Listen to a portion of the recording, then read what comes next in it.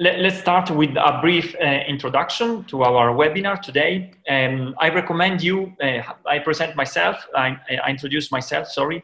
Uh, I am Gabriele Vaccaro.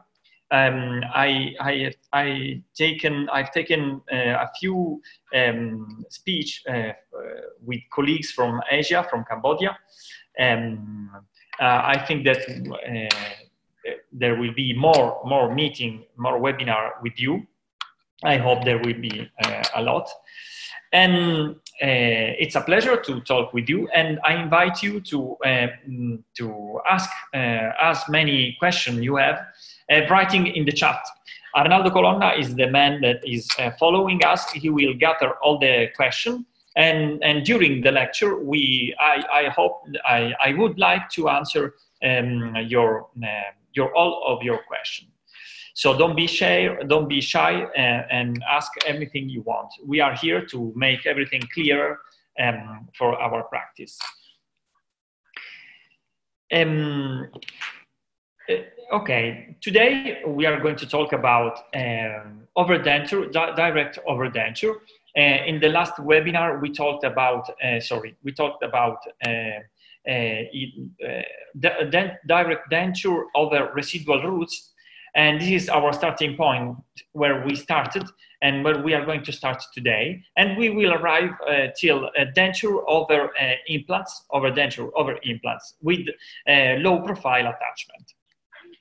And this is uh, our aim today.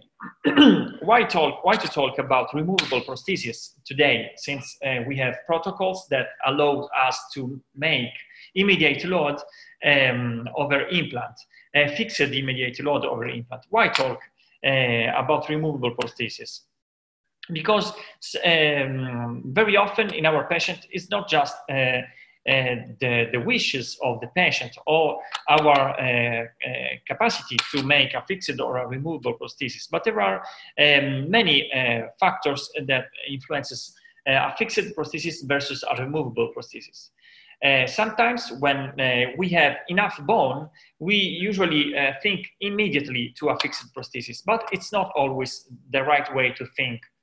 Because even if we have uh, uh, the right amount of bone where to put enough number, enough of implant, um, it's not the, the right resource for us. So um, sometimes we have a few a small amount of bone, residual bone to put implant. And we have to choose a different uh, kind of prosthesis. And sometimes we uh, are able to put a lot of implants and we can make a fixed one.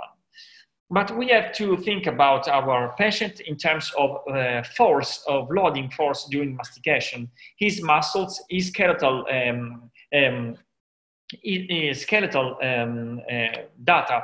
If he is bra brachycephalic, uh, that means that the transversal diameter is bigger than uh, uh, anteroposterior diameter. This means that he has big masseter muscles and big temporal muscles.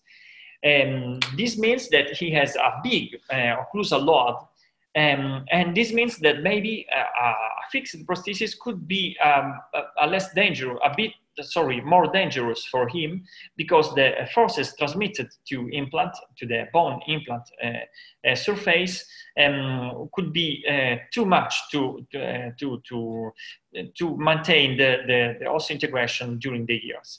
Instead, a dolichocephalic um, um, uh, usually is, um, uh, is associated with small temporal muscles and small masseter muscles.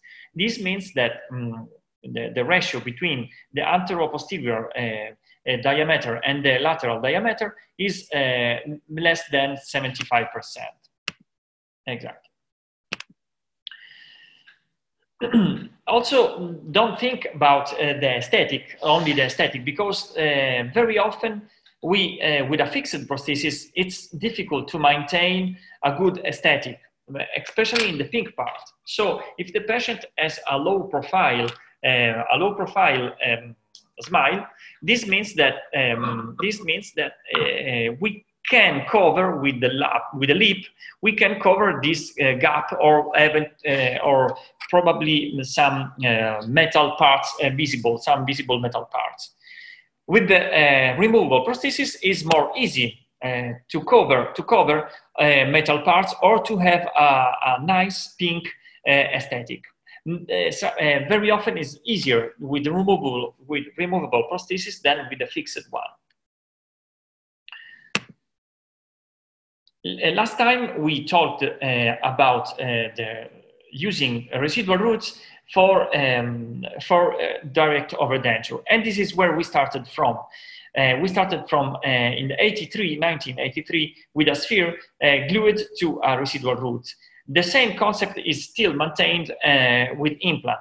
And I go faster now, uh, just um, telling you one thing, one important thing, that when um, we still have some residual roots, we have around our root uh, several receptors in the periodontal ligament.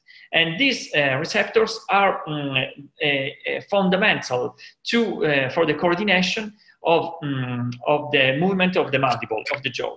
Because in, uh, in the periodontal ligament, there are free end fibers, Meissner corpuscles, and Ruffini receptors that gives us the sense of touch, the pressure and pain. Um, this is not just in theory. I want to mm, make an experiment with you and just try to take a pencil um, and try to bite it with your incisor. Do it right now if you have a pencil uh, beside you. Um, if you if you try to bite uh, with your incisor uh, this pencil and you want to uh, uh, to um, to, to, to put all of your effort to, the, to, to impress uh, the strength as much as you as much as force as you can, you will feel um, an inviting uh, message coming from periodontal ligament from the incisor. If you try, if you, you can try as much as you want, but you, you can't, you can't go over a certain point, a certain level of force. Uh, this is because uh, the periodontal ligament uh, around the incisor and around the canine, um, uh, they make a, weakening message for the muscles, for the masseter muscles and for the temporal muscles. Um, in the other on the other side, if you put your, the same pencil um, between the molar uh, or premolar or first molar, you will feel that um, when you try to bite and to to scratch to crush it with your molar, you will feel um, some kind of extra force given by uh, uh, always by receptors from the periodontal ligament. So um, if you if you try, you will uh, crush the pencil immediately. And remember that when we make overdenture or fixed prosthesis over implant, all of this information are lost, completely lost. So uh, the patient doesn't have, especially in the first period, doesn't have any sense of pressure when he bites or she, when the patient bites, uh, patient bites uh, something. I always tell the story of um, an old man, a, a grandfather, um, to whom I, I put a fixed full arch, and uh, when he went out of the office, um, he was happy to show his uh, new teeth to his nephew. Um, but the problem was that uh, he tried to, like a joke, to bite the finger of his nephew. He tried to bite it and he was almost uh, hurting him because he didn't feel uh, the, the pressure he was putting. So it's very important uh, when we make a mediate load on over denture, over two implant, over three implant, or a fixed uh, denture or fixed prosthesis to advise the patient about it. Don't, don't uh, eat uh, hard food. Don't, um, it's not uh, a question of prudence, but just a question of physiology because he, the patient doesn't have the sense of, of the force that he is putting in, uh, in his uh, function, masticatory function. So last time I ran fast because we uh, saw exactly this case and we had this um, root uh, uh, where the clamp uh, broken has broken the, the, the, crown and we restored, recovered, we restored the crown with um, a post, with a spherical post we glued it in and we, in, in, while in the lab, they cut away the clasp and put a new crown and uh, make the, uh, the space empty enough to uh, host the, the, new, the new cap, the new cap. Then we relined the prosthesis over that. and we were able to uh, eliminate the, the clasp from the, from, the, uh, from the aesthetic part. This was the starting point, uh, and then uh, the same patient made the same work in the lower jaw, and we converted it, uh, all the clasp disappeared, and we converted all the clasp in residual root attachment. Now today we are going to talk about implants. the same post has been converted as an equator attachment. So the, this is uh, where we started from. So the sphere was the beginning. Then uh, the company in, uh, recently uh, uh, cut uh, the, the, the, top or the bottom of the sphere, maintaining just the equator. This means that we have less space inside the, um, inside the, the prosthesis. So you have more space inside the, the prosthesis, more prosthetic space. Uh, more more uh, than this, you have um, uh, lowered the the, the, the, the, the cantilever force. So your lever force is lowered. Um, this means that you have less force over your implant. And um, this uh, attachment has a, a, hole inside, the equator has a hole inside with a thread inside that doesn't has any communication with the inside of the implant. So when you put this over your implant, you are locking uh, the space, the gap uh, between the implant and the oral environment forever. This is important because um, uh, there are many studies that demonstrated and has demonstrated that fluids remaining here inside the, the implant can uh, can get out from the gap between the attachment and between the, uh, the, the, the, abutment and the implant can get out and start uh, um, the bone resorption right from here.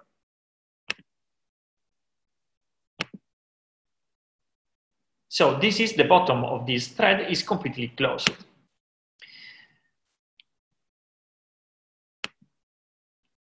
Now, uh, so you have the same diameter for this uh, sphere, and this means that you can have different kind of um, shock absorption, different rate of shock absorption. You can have the sphere where you have your, the dedicated cap and that uh, is completely filled, and the same diameter is uh, with the equator, but it's uh, reduced. The, the height is completely the, is definitely re, uh, reduced. Uh, if you need, you can use the same uh, uh, cap, the plastic cap, the same plastic cap over the um, equator. So you can gain more shock absorption effect.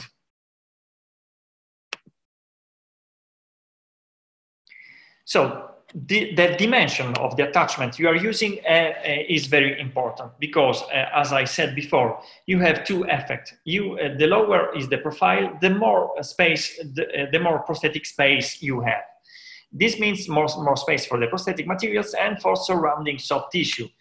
Um, and this is the smallest, uh, the lowest profile on the market uh, from the diameter until the height of this attachment.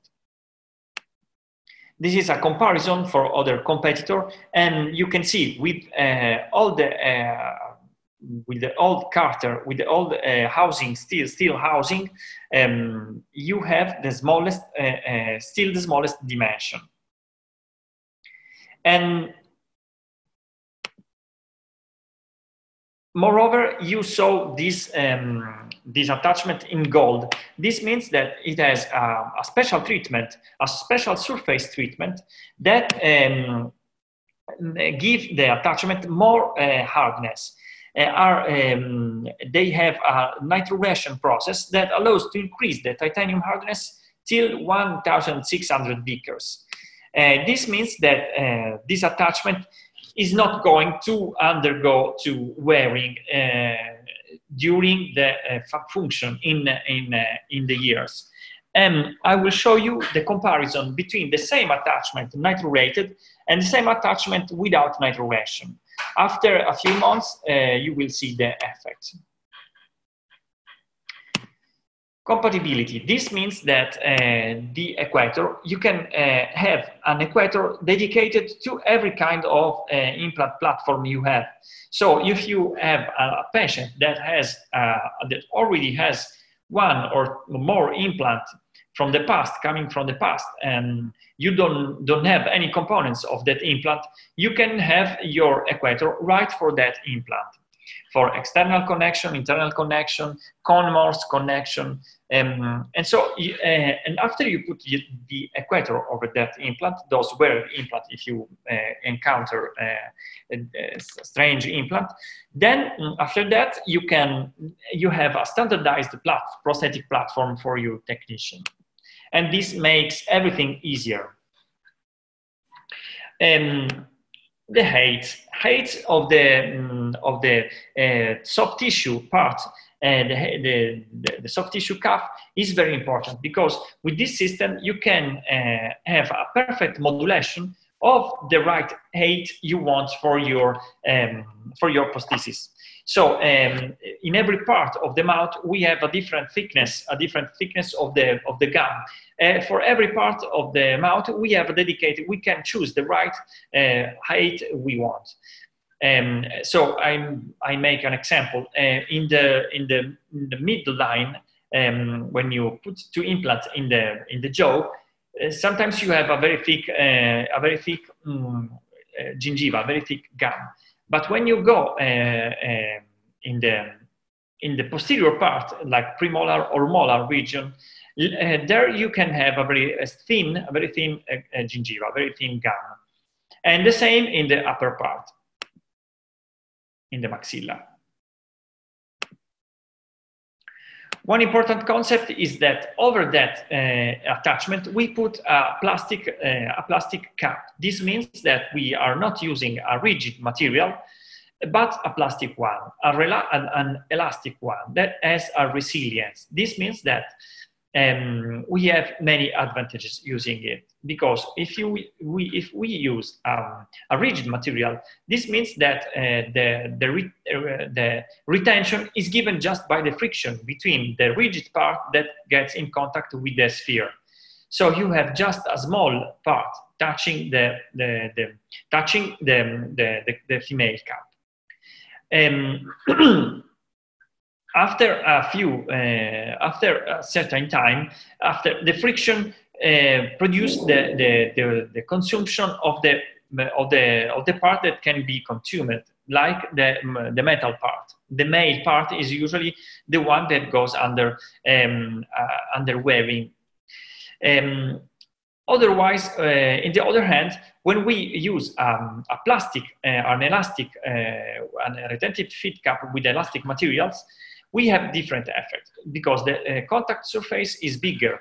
Uh, so we have not only the equator, but uh, over also the undercut under the equator. Um, since this material has, has an elasticity, we um, preserve the metal part from consumption and um, the, the part that goes under, uh, under uh, wearing is the female cap that is that that's easier, a lot easier to remove and change it uh, in, during the year.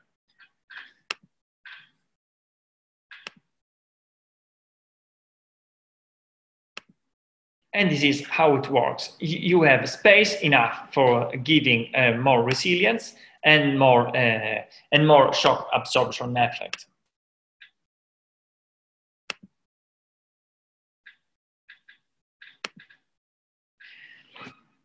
And you have to choose the right uh, the right um, the right female cap because you have different uh, different standard of uh, retention. So uh, it depends a lot on um, on you have to evaluate many factors for example the age and the ability of the patient the finger ability uh, of the patient because if the patient is very old and he can't um, he can't uh, uh, remove his prosthesis easily, it's better to use a soft one uh, or an extra soft one. If the patient is younger and wants a more stable and, mm, and more fir uh, firm steel uh, prosthesis, you can have a strong one. I always recommend to begin with the, with the softest um, uh, with softest female cap and then increase the, the hardness after uh, the patient has confidence with it. For all the components, you, uh, you just need uh, one square screwdriver. Uh, it has a square head that fits all the components um, of the system. From the equator attachment till the uh, till everything you need to put over that. You can use also a ratchet, and it's very recommended because uh, they has to be um, to be inserted with not more than 25 newton per centimeter uh, per square centimeter. This means that um, with your finger, uh, you usually um, you usually can gain uh, uh no more than 15 kilonewtons you have to follow, uh, don't, don't exceed uh, this uh, torque insertion recommended, don't exceed that, uh, but for always follow the, your implant brand um, um, recommendation for abutment insertion. Every implant brand, brand has recommendation for the abutment insertion and then follow, follow that, uh, that um, recommendation why uh, why, uh, why we choose uh, that kind of abutment instead of another one? Uh, because in the market we have so many abutment uh, that um, is a very confusing uh, subject for us. But we have to be very clear when on what is an abutment and what function it has in the mouth over the implant when we put it over the implant what is an abutment? It's something that goes over the implant, that um, it's uh, some kind of uh, a piece or that, uh, that makes the implant longer, that allows the implant to cross the, the gum, the gingiva, um, to have is something where we can put our teeth easily, something that is connected with the implant, and something that crosses the gingiva, the gum, the soft tissue and uh, especially now that uh, most of the implants are uh, bone level, or put bo at the bone level, um, the, the abutment is uh, the due uh, the due of the abutment is to establish and maintain during the time the biological width connection. So it's very important to have uh, an abutment that allow us to do it in a perfect way, in the perfect way. So soft tissue management is the is the main function uh, of the abutment. And I like to talk, to start this part uh, talking about our father, the fathers of implantology. And Brånemark in 1991 said that osseointegration is achieved if peri-implant mucosa heals rapidly in the margin region, sealing supporting structures. Um, this statement was uh, made when, with the Brånemark protocol, uh, with the two, step, two surgical steps Brånemark protocol, where um, the first step was to put implant and then cover everything. And uh, uh uh, talked about the sealing uh, in this first step. Today, we can put um, a healing screw over an implant and the seal that we can have is no more between two flap uh, of gingiva, but between the gingiva and the titanium of the, um, of the abutment. And I ask you, since we are talking about bone level implants, um, let's uh, uh, take, a, uh, take a look at this. Peri, what Lindhe said in the 2008. Peri-implant disease are infectious in nature, okay. Peri-implant mucositis describes an inflammatory lesion that resides in the mucosa, while peri-implantitis also affects the supporting bone. So this means that mucositis is the first step of the peri-implantitis. Let's think about it. Um, we are talking about um, bone level implants. Bone level implants means that there, there are no implant parts crossing the, uh, the, the, the mucosa. So what is crossing the mucosa? The abutment. So the mucositis is established uh, in the first step, not around the implant, but around our uh, abutment. And this is a very important step. So this is our uh, bone level implant, and this is the, our abutment. And we can see the difference between the, um, between the natural tooth and the implant because natural tooth has uh, the, the, the, connective tissue around natural tooth has nutrition from, uh, from vessels coming from the periodontal ligament, from the gingiva, and from the bone, crestal bone. In the implant, we don't have any, uh, any trophic uh, function from the periodontal ligament because uh, it, there is no periodontal ligament, of course. The only uh, nutrition uh, that the, this connective tissue around the abutment, not the implant, around the abutment, is coming from the gingiva and from the crestal bone. Um, moreover, we don't have any um, any perpendicular uh, collagen fibers attaching to the root, to the cement of the root. We have just circular, uh, circular um, uh, periodontal ligament, so sorry, circular um, um collagen fibers that goes around the abutment, like exactly like a circle, like um, a round circle around the, uh, the abutment. The only thing that can create a seal, a biological seal with a, a deep tissue, with a, a deeper tissues, is the um, epithelium. Uh, epithelial cells uh, can create a bi biological uh, attachment here uh, with uh, hemidesmosomes, uh, with hemidesmosomes here. Um, it's the only seal that we can have uh, uh, from batters, uh, preventing batters coming down deep in, in this space. try to imagine what we can have if we unscrew this many times, multiple times.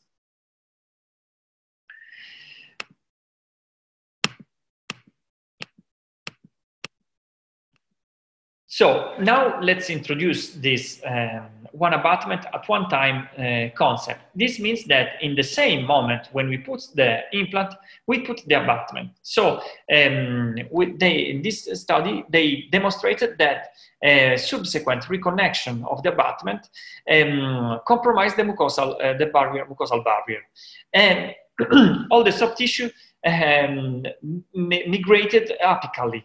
Um, this means that just the abutment manipulation, just that without any plaque, uh, any without any plaque accumulation, uh, brought us to soft tissue downgrowth. This means a pocket around our abutment. We have uh, we have had a new pocket, and then the next step was the bone loss. So the more, uh, the, the more stable is the abutment that we put over the implant, uh, the more stable are the soft tissue around that. And on the same way, on the other way, sorry, uh, they demonstrated here in this study that um, not uh, fixing the abutment and without touching uh, anymore the abutment after the positionment, um, the bone healing around subcrestal tapered implants was uh, maintained during the year, um, they had statistically significant reduction of the horizontal bone remodeling. We, if we have certain kind of implants, we can add this kind of concept. That switch, plat, switch, uh, sorry, platform switch concept.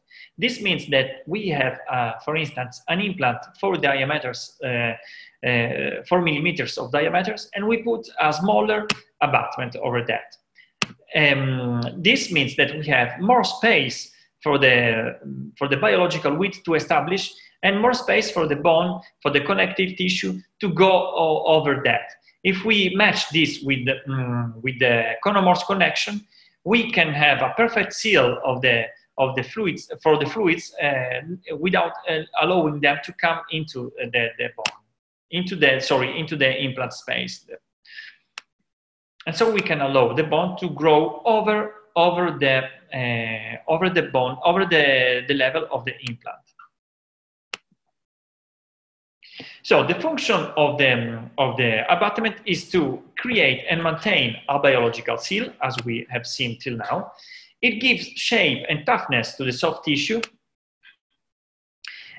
prevent so the soft tissue downgrowth, downgrowth because if we maintain it uh, for the, with the one abutment, one time concept, uh, the, the downgrowth of the soft tissue is prevented, and we prevent the biological width contamination.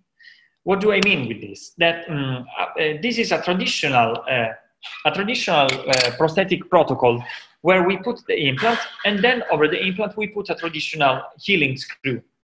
This means that now uh, um, now I have to unscrew this one and take the impression, then screw again this one, and then uh, unscrew again in the next appointment with the patient to uh, check the uh, check the framework or other check with the technician. Then screw again, and um, I'm I'm committing a multiple manipulation of the abutment of the healing screw. And remember, try to compare this picture with the, with the scheme that we uh, have seen before. We see the implant, this is the bone level. Here we have bone.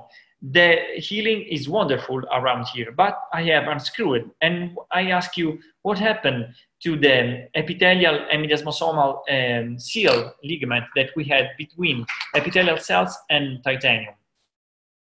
I have already broken it.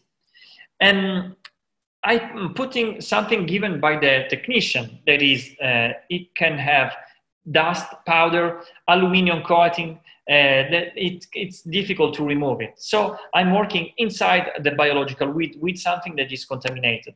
And after uh, a few checks, the, the soft tissue that I had perfect in the first step, in the first healing step, is completely destroyed and the, and the epithelial attachment is going to, uh, to, uh, to, to set up always uh, down and down and down.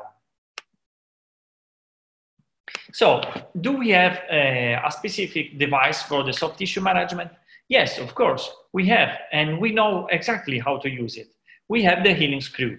Um, and as a clinician, we know perfectly which height we want for that implant which diameter and which profile we want for that implant. And in the same way as we choose the, uh, the healing screw, we, we uh, the same care we need to take for, uh, for the choose of the abutment. And we, if we use the abutment, uh, the right abutment, you can use it exactly as a healing screw. Moreover, think that the healing screw should be used as a one piece, one um, as a, sorry, a one use, a single use piece, because after the sterilization, after the, the screw stays in the mouth for uh, some months, it, it gets away with this uh, around. So we have to remove this with ultrasound, of course, but um, sterilization and, uh, and uh, physical topography uh, are changed when we uh, clean it and sterilize it. Because uh, the treated the milled titanium coming from the from the uh, from the from the factory is the perfect surface where the blood clot wet um, and establish the first uh, uh, the first healing point for the for the scar and the, and uh, and over that kind of titanium uh, it can be established the the biological width and the uh, epithelial seal. If we change it uh, it's more difficult to to attach to the titanium for the epithelial cell to attach to the titanium. More than this uh, after different cycle of sterilization the thread of the screw can be altered. Um, and we put inside a new um, and you put inside a new implant a, a, a thread that is uh, altered. So, uh, uh, other, moreover, debris may clog screwdriver insertion site. So the, the screwdriver can have some difficulties to get inside the, the, the hexagon uh, engagement. And if you have a Cone-Morse connection, mechanical and cleaning uh, can damage implant abutment connection. So the, the best would be to have an, uh, a healing screw that is fixed forever, and the prosthetic part uh, is developed over the uh, over the over the abutment without getting inside the without getting inside uh, the implant again. So what we see until now is the exactly what uh, the function of the abutment in establishing the biological width connection. So implant screw connection is uh, the capability of the implant to match with different kind of implant. Now uh, let's get into the focus of the lecture today. That is to um, use the, this attachment for um, this attachment for the, the direct overdenture. Um, why uh, it's so important to have this kind of attachment that is nitrurated, um, low profile, and with a thread inside because this kind of abutment works exactly as a multi-unit abutment with one piece. We, are we have converted uh, everything in one piece. Um, we have a ball attachment and we have a healing abutment, all in one piece. To make a direct overdenture, we just need to have this kind of components, the female cap and the housing, metal housing for the female cap. Single overdenture, the equator profile gives up. So when, um, when we have uh, low divergences, it's easy to, to put um, uh, just the uh, over that um, over this um, over the equator just the simple uh, female cap with the housing steel because the tolerance that it has inside uh, allows to overgo this uh, undercut. so if we have implant divergences still 15 degrees per implant, this means 30 degrees in total, we can use just the female cap. It's the simple, the easiest, uh, the first step, uh, the easiest one. So in this mandible, we had a problem because the patient had um, sensitivity uh, because the, his prosthesis was uh, compressing the uh, alveolar nerve. And uh, so we put two implant, uh, we put two implant. Uh, the vertical dimension was completely collapsed and they had cheilitis angularis. the patient had cheilitis angularis over it. So we need to increase uh, the vertical dimension, the vertical height. After we put two implant, we uh, closed everything. We made a traditional surgery, a two-step surgery. So we closed, sutured everything, and we waited for the healing. After that, we put our, uh, our uh, abutment, uh, choosing the right height to um, make the uh, platform at the right level of the gingiva, not too high, not too low below. And now I want to speak uh, with you about the um, what happened if we don't use nitrurated attachment. Uh, because in the market we have a lot of uh, uh titanium, titanium attachment, but after a few months, the, the insertion and disinsertion of the prosthesis over this and the masticatory function and the small micro movements that the prosthesis uh, makes in the mouth um, can bring us to this effect. So the, the, we are have losing, we are losing, we are completely losing the retention because this is no more a sphere, but it's, it's a cylinder. And I, I wanted to check this, and, uh, um, and after that, I changed um, the titanium uh, attachment with the nitrurated one. And after two years, this is the result. It's perfectly like uh, a new one. And this is the comparison between a brand new and the old one.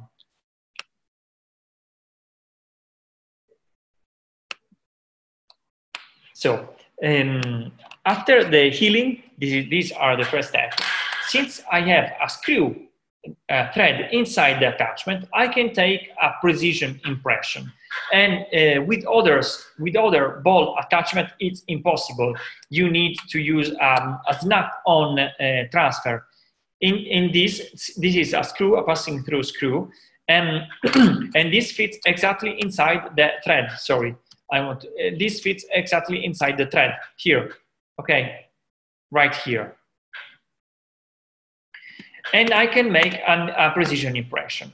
Over this impression, the technician gives me a, a wax wall with, the, with two female cap inserted uh, over, that, uh, over that attachment.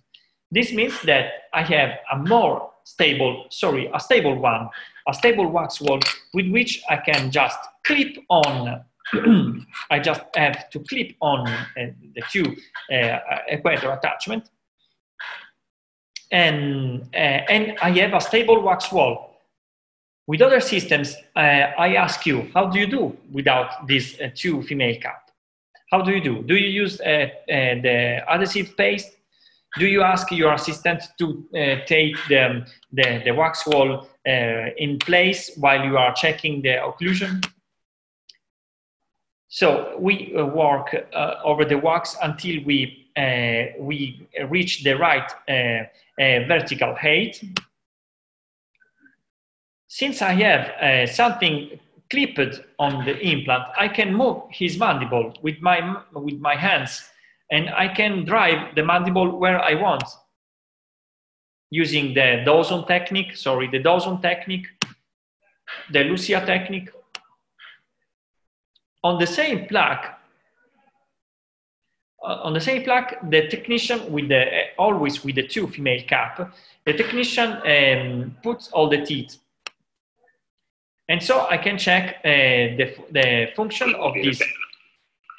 Ah, devo dire, de- ah, okay. destra e sinistra. This is in Italian, of course. And ah, in sono Italian, un disastro catastrofico. Altrettanto catastrofico è la politica di Trump. Okay. Uh, so this is um, in Italian. You have in your language, of course, you have some uh, vowels or some letters that are very difficult to pronounce with new denture. And I have already put the denture, the, sorry, the the teeth, the, the resin teeth mounted on the wax. I have already put it in in the mouth, and I checked immediately. I could check immediately the the, the speaking ability of the of the patient. Uh, in Italian, there are a few um, letters like S, T, and the R that are very difficult to pronounce uh, with, uh, with new prosthesis, uh, with new teeth. Since I have clipped everything in the mouth, it's easier to, to check the, this. Okay, once again, listen. Sì. 61, 62, 63, 64. Okay, I'm asking the patient to count from 60 to 70 uh, to 79 because S and T are very difficult to pronounce. 65, 66. Okay. So uh, after that, since everything is precisely uh, checked, has been precisely checked, the technician can finish the work. So the housing, uh, the steel housing, and the female cap inside.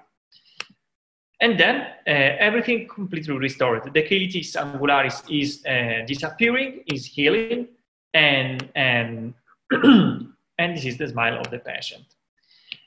It was important to check the, the, the, the, the speaking cap capability of the patient because this patient, I want to show you this picture, because this patient uh, wasn't able to touch uh, the, the, the, screen of, the, of, the, uh, of his uh, mobile, but he uh, used the voice command uh, to talk, to give, to make call or to make other things with his mobile. So he was really afraid that um, he wasn't more able to, to use his mobile with his voice and that the mobile couldn't recognize his voice, his pronunciation. And after I delivered um, his uh, new denture, the first thing he did was this to take his phone and talk with the phone uh, to make a call to his son.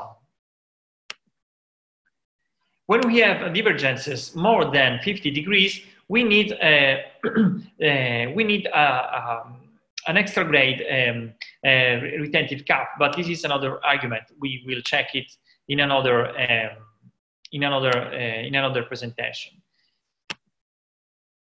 Okay, this is the smart box. Uh, the smart box uh, works exactly like this. It has um, two level of, of uh, uh, steel housing, has a fixed one, and inside there is a second one that has a, um, um, a basculation point here that uh, gives more, more movement inside the, the female cap and um, allow the, the prosthesis to overcome divergences till 50 degrees.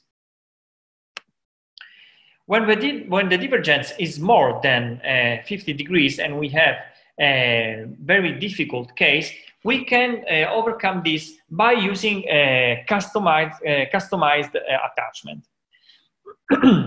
Uh, we need the, the, the plastic part, the plastic uh, abutment, and we can, uh, we can put the, the equator exactly where we want.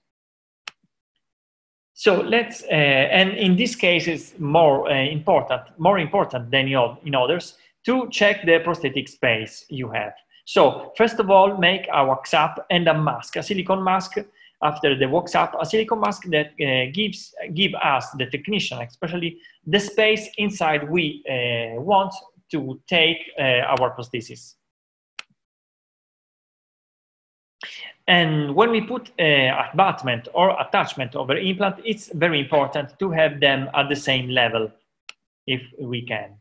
So, because uh, we have to keep in mind also that the, the pattern of insertion of the, of the denture of the patient is not the same that we have in the, in the lab. because the patient always put it in the mouth, close the mouth, and this is his pattern of insertion. So our reference point, reference point is the occlusal plane, this one. And, uh, and the attachment must be uh, perpendicular to the occlusal plane. So in this case, the patient had six implants, sorry, has six implants that he didn't use for a long time. He didn't load for many, for different reasons. After that, he came at our studio, our office, and we made uh, a new prosthesis. So first of all, the wax up, as we said in the beginning. The wax up with teeth um, is a guide where we can put, uh, where we have to put uh, a silicone mask. The axis of the implant is extremely tilted, so it's um, it's a vestibular uh, respect of the teeth. So let's take the reference point that is the occlusal plane, and keep in mind that our attachment must go inside the, must go perpendicular, sorry, to the occlusal plane. Because if we maintain the attachment with this uh, angulation, they will get worn out very easily in the vestibular part immediately. So the silicone mask give us the space where we have to fit everything inside. As you can see here, it's uh, too much. So let's cut everything until it fit inside the silicone mask. This component is the castable one. this screw is the laboratory screw, of course. Uh, cl uh, clinically, uh, in the mouth, we, will we are going to use a smaller one. And this is the um, available space that we have for the uh, abutment, for the screw, for the uh, female cap and for the housing, and that's enough. And more important, um, more important, we had uh, we uh, were able to put the mm, the new attachment perfectly perpendicular to the occlusal plane because we put this with the parallel with exactly the same parallelometer we used um, we used to to check the occlusal plane. After that, we uh, cast all the uh, custom uh, components.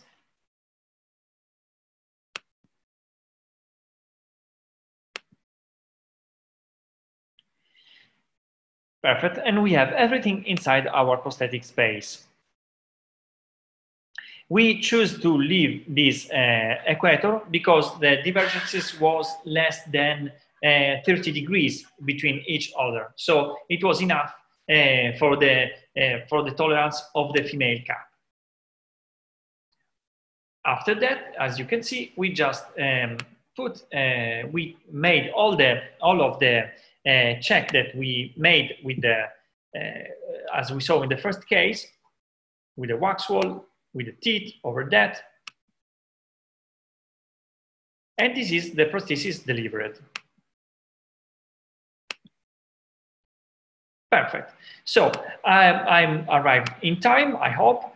And with this, I'm, I finished my presentation. I thank everyone. I thank everyone for listening to, to me.